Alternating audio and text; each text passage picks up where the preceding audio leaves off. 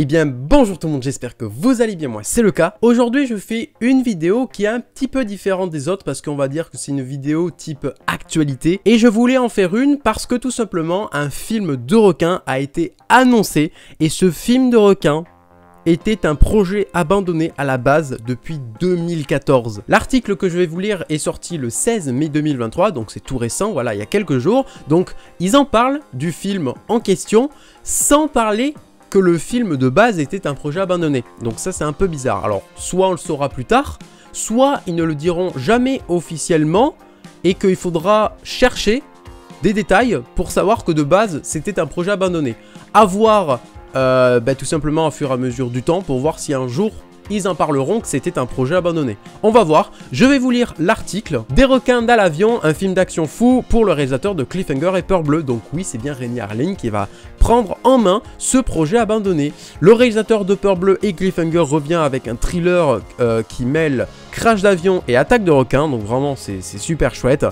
24 ans après Peur Bleu, le réalisateur Reynard Lynn s'apprête à retrouver les requins. Le metteur en scène euh, à qui l'on doit également 58 minutes pour vivre avec Bruce Willis et Cliffhanger, donc avec Sylvester Stallone, va réaliser Deepwater. C'est ce fameux film de requins abandonné. Voilà, et euh, il y a même euh, deux affiches qui, qui a été faites, voilà, des maquettes d'affiches qui avaient été faites, et donc ça c'est incroyable. Donc un thriller de survie, le film euh, suivra un groupe de passagers dont l'avion en partance de Los Angeles pour Shanghai est contraint d'effectuer un atterrissage d'urgence dans des eaux infestées de requins. Le groupe se retrouve alors pris au piège entre un avion qui coule et de terribles squales. Donc vraiment le concept est incroyable et puis c'est surtout quasi le même scénario qu'on avait à l'époque. J'ai d'autres articles que je vais vous lire qui datent de 2014 du euh, soi-disant Deepwater. Voilà, donc le long métrage est produit par le nouveau studio de production de Jenny Simmons et Gary Hamilton. Souvenez-vous de ça, voilà. Simmons Hamilton Productions. Combiner ces deux éléments est un rêve devenu réalité. Là, je vais vous lire une petite interview du réalisateur. Rainier Lynn a déclaré dans un communiqué de presse J'ai connu mes plus grands succès en travaillant avec des avions ou des requins. Combiner ces deux éléments dans une aventure d'action axée sur les personnages est un rêve devenu réalité. J'ai hâte d'emmener le public dans le voyage en avion le plus effrayant de leur vie. Jen et Gary sont tous deux de vieux amis et je suis impatient de faire du rock'n'roll dans le ciel avec eux. Le tournage de ce film d'action dont le casting est encore inconnu devrait débuter à la fin de l'année. Voilà donc ça arrivera prochainement, j'ai hâte que ça arrive en 2025, je sais pas, on n'a pas de date, on n'a rien. Et donc du coup là je vais tout simplement vous lire euh, un autre article, voilà, euh, de 2014, et qui parle justement de ce fameux Deepwater, de ce projet abandonné. Et il y a une petite surprise que vous ne savez pas encore. Vous le découvrirez juste après. Donc, le producteur de films australien, Gary Hamilton, arrête de travailler sur le suivi des requins avions. Gary Hamilton. Donc c'est purement lié que clairement c'est ce film qui va se faire est clairement basé sur ce film abandonné. Et le truc qui est incroyable, c'est que je suis en train de faire une grosse vidéo sur euh, l'iceberg des films de requins. Et justement, je suis tombé sur ce film-là. Bon, je connaissais euh, ce projet abandonné depuis longtemps. Mais voilà, je m'étais renseigné davantage. Et j'ai trouvé ces deux articles, parce qu'il y en a un autre après celui-là. J'ai trouvé ces deux articles qui parlent un petit peu plus en détail euh, de pourquoi il a été abandonné ce film. Parce qu'avant, je savais pas trop. Et là, bah, ce, que je, vais vous lire, ça va être super intéressant. Parce qu'il n'y a pas beaucoup de gens qui ont vu ces articles-là, je pense, surtout en France. Voilà, donc les pages, je les ai traduites, donc euh, il peut y avoir des phrases qui sont pas très cohérentes. Mais euh, voilà, ça prouve bien que le film qui va sortir prochainement est clairement inspiré hein, sur ce projet abandonné. Et ça, c'est trop classe, parce que vraiment, je voulais voir ce film, cette suite qui n'a jamais été faite. Et elle va se faire. Et ça, c'est incroyable. Merci Rémi Arline. Je, je, je, je compte sur toi pour faire un bon film de requin. Et surtout, je pense que ça va être un pas un blockbuster de ses morts, mais ça va être un bon film de requin, et je le sens quoi. Et c'est là que vous allez avoir la surprise, les plans pour une suite au succès australien des requins dans un supermarché, Bait, et oui, Deepwater était censé être la suite du film de requin Bait, des requins dans un tsunami. Et oui, Deepwater était censé être la suite de Bait. Et ça, c'est insane, c'est trop bien mais malheureusement, ça a été abandonné à cause d'une mauvaise nouvelle, et on va le lire juste là, aurait été suspendu à la suite de la catastrophe du vol MH370 de Malaysian Airlines. Et oui, malheureusement, il y a eu un crash d'avion pile euh, pendant la production ou la pré-production, je sais pas trop où est-ce que le film en était, mais euh, en tout cas, il y a eu ce crash d'avion qui a fait littéralement planter le film, du coup. Donc on va euh, lire un petit peu plus de détails juste après. Le journal spécialisé The Hollywood Reporter a cité mardi le producteur australien basé à Los Angeles, Gary Hamilton, disant que sa société Arclight Films appuyait sur le bouton pause de son film Deepwater à propos d'un avion qui s'écrase en route de Pékin à Sydney. Par sensibilité à la situation des vols en Malaisie, nous avons décidé de les mettre en pause pour le moment, a déclaré M. Hamilton à THR lors d'un salon à Hong Kong. Avant d'être supprimé mardi, la liste du film sur imdb.com décrivait ainsi le scénario. Un avion volant de Pékin à Sydney s'écrase dans l'océan Pacifique, les passagers et l'équipage survivant se rendent vite compte que leur avion commence à sombrer dans un abîme sans fond et font face à une terreur incalculable alors qu'ils sont entourés des tueurs naturels les plus meurtriers sur Terre. Une page Facebook pour Deepwater était toujours en ligne au moment de la rédaction et comprenait une maquette de l'affiche avec le slogan « La peur a atterri ». Deepwater est écrit par le duo basé dans le Queensland, Sharon Armstrong et Shane Cross, qui ont travaillé sur Bait. Screen Australia a soutenu Deepwater avec un financement de développement, initialement sous le titre Bait 2. Le projet a été signalé comme une coproduction probable entre l'Australie et la Chine avec un budget d'environ 25 millions de dollars.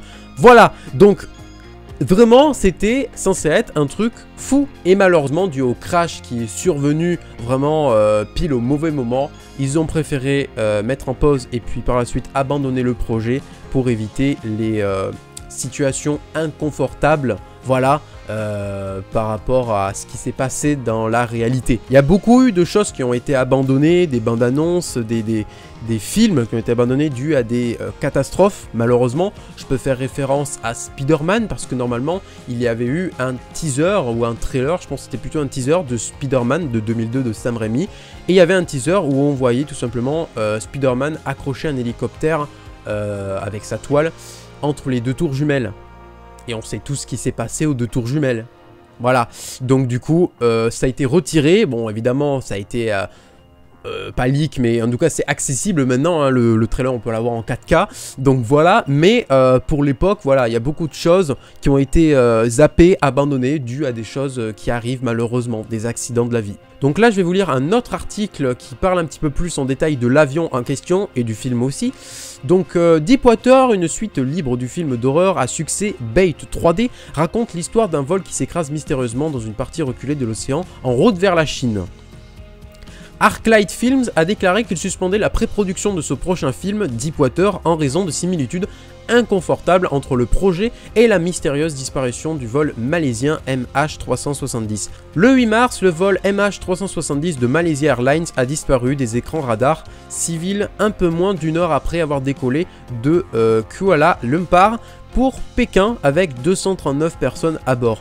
Aucune observation confirmée de l'avion ou de ses restes n'a été faite depuis. Ce n'est pas la première fois que le réalisateur de Deepwater, Alistair Gregson, réalise un film marqué par une étrange qualité de vie imitant l'art. Sanctuum de 2011 le projet pour lequel il est le plus connu porte sur une expédition de plongée sous-marine qui se transforme en une catastrophe aquatique palpitante. Il a été publié en Australie deux semaines avant que le Queensland et le nord de la Nouvelle-Galles du Sud ne soient frappés par des inondations dévastatrices en 2011.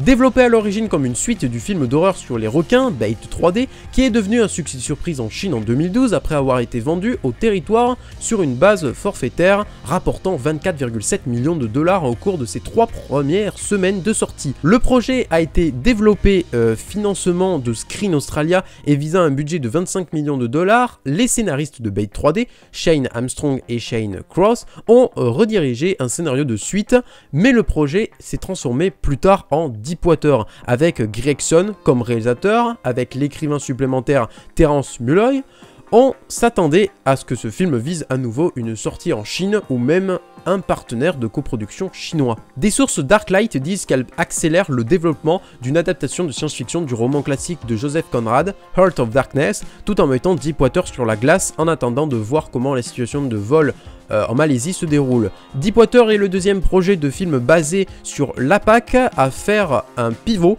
par sympathie pour les personnes touchées par le vol MH370. Voilà, à présent vous connaissez un petit peu plus de détails concernant ce projet abandonné, je voulais vraiment parler parce que il n'y a aucune vidéo sur le YouTube Game qui en parle. Voilà, donc évidemment respect envers les familles des victimes de ce euh, vol. Voilà, et euh, sans compter la catastrophe, bah, c'est super intéressant voilà, d'apprendre un petit peu plus sur ce triste du coup euh, film qui a été abandonné dû à cet accident. Voilà, bah moi j'ai beaucoup aimé faire cette vidéo, voilà, juste parler, lire des articles, ça me demande pas beaucoup de travail, mais au moins je peux vous apporter beaucoup d'informations, voilà. Je vous mets évidemment les trois articles que j'ai pu lire euh, dans la description si ça vous intéresse. Voilà, en tout cas, Deepwater va finalement voir le jour. Et ça, c'est incroyable. Ça, vraiment, c'est trop bien. C'était pas évident que ça arrive, mais je veux dire, un projet abandonné de film de requin dû à un, avion qui se crache, vaut mieux attendre pour le faire plus tard, pour pas qu'il y ait de polémique. Parce que sinon, il y en aurait eu plein et peut-être le film n'aurait pas fonctionné. Peut-être euh, le système d'argent qui rentre en jeu par les productions, mais euh, sans compter argent, vaut mieux quand même attendre un petit peu et ensuite faire le film. Donc je pense que Rémi Arline euh, va faire un bon taf. Voilà, si il possède bah, pas mal d'argent pour pouvoir faire ce film-là. J'espère pas que ça va être un film de requin comme on peut avoir actuellement. Voilà, des bons films de requins éclatés. Mais je pense que ça va être un bon euh, blockbuster parce que c'est Rainier Lynn. Voilà, j'espère qu'il va nous faire de jolis bons animatroniques. S'il nous sort des animatroniques de peur bleue qui sont très similaires, je dirais pas que c'est du déjà vu, mais je dirais que c'est incroyable de voir ça sur grand écran au cinéma, de voir un, requin de peur bleue pratiquement, si c'est le cas, euh, en 2024 ou 2025, ben c'est incroyable. Donc voilà, j'espère euh, que cette vidéo vous aura plu que je vous ai apporté beaucoup d'informations concernant ce projet abandonné et ce projet qui, qui vivra un jour. Voilà, en tout cas, n'hésitez pas à mettre un pouce bleu si cette vidéo vous a plu, à commenter, à partager, à vous abonner et à activer toutes les notifications en cliquant sur la cloche. Moi je vous dis à la prochaine. Salut